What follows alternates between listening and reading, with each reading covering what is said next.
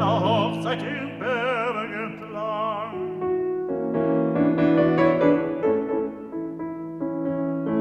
Ich hörte die Vögel schlagen. Da blitzte viel rechter, das war spontan. Das war ein lustiges Jahr.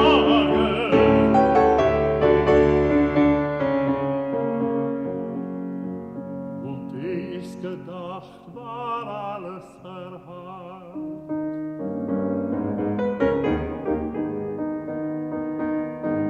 Die Nacht bedeckte die Runde, nur von den Bergen nach